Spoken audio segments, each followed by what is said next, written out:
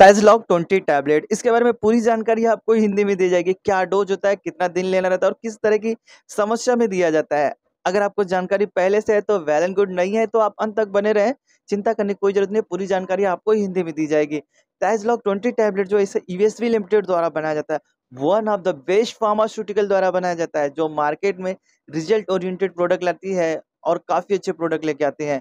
अब बात करते हैं इसके अंदर क्या है। इसके अंदर टेलमी सेटन ट्वेंटी एम है और इसका जो पैक है वो टेन टेन टैबलेट का और कॉस्ट जो इसका फोर्टी रुपीज़ है, जो ज़्यादा भी हो सकता है फोर्टी रुपीज़ से। तो अब बात करते हैं इसे कब दिया जाता है। तो जब आपको हाई ब्लड प्रेशर रहता है, जिससे हो सकता है फ्यूचर में आपको इस तरह की समस्या हो सकती है।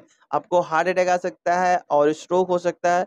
अगर आप हाई ब्लड प्रेशर के शिकार है और साथ में आप जो कि डायबिटिक पेशेंट है तो हो सकता है आपका किडनी के फ़ंक्शन भी डैमेज हो सकते हैं।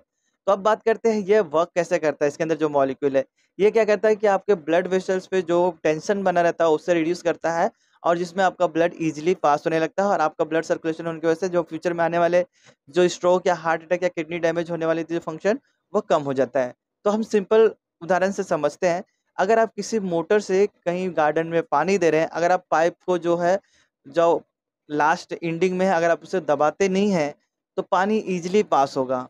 जिसमें आपके मोटर को कोई फ़र्क नहीं पड़ता है, लेकिन अगर आप उसी पाइप का जो इंडिंग पाइप है, वहाँ पर अगर आप ज़रा सा दबा के रखते हैं तो पानी बहुत तेज़ी से निकलेगा, लेकिन आपके मोटर पे ज़्यादा लोड होगा। तो यही होता है जब हमारे ब्लड वेसल्स में टेंशन होता है, जिसकी वजह से ब्लड ईजिली पास नहीं होता है। तो ये जो मेडिसिन है, उसी टेंशन को कम करता है, जिसकी वजह से आपका ब्लड ईजिली पास होने लगता है और आप काफ़ी रिलैक्स फील करने लगते हैं और काफ़ी आपको बेटर फील होने लगता है। तो अगर आप इसे ले रहे हैं तो ओरी डोज ले सकते हैं। और जैसे कि इसे खाना खाने के बाद लें। इसका जो डोज रहता है मोस्टली आप मॉर्निंग सेशन में लें ताकि आपका पूरा दिन अच्छे से जाए। और इसे चबाना नहीं, क्रश नहीं करना, डायरेक्ट पानी के साथ में नहीं करना तो अगर आप इसे परचेस करना चाहते हैं यूज़ करना चाहते हैं, इन तरह की समस्या में जैसे हार्ट अटैक या स्ट्रोक या किडनी फ़ंक्शन जब आपको हाई ब्लड प्रेशर रहता है तो एक बार ज़रूर डॉक्टर से कंसल्ट करें। अगर आप खुद से लेंगे तो हो सकता है कुछ इस तरह के कॉमन साइड इफ़ेक्ट देखने को मिलते हैं, जिसमें आपको अपर रेस्पिरेटरी ट्रैक इन्फेक्शन होता है, यानी चेस्ट के ऊपर वाले जो भाग में आपको इन्फेक्शन होने के ज़्यादा डर रहते हैं साइनस में इन्फेक्शन हो सकता है बैक पेन हो सकता है, आपको डायरिया हो सकती है, उल्टी आ सकती है, जी मचला सकता है।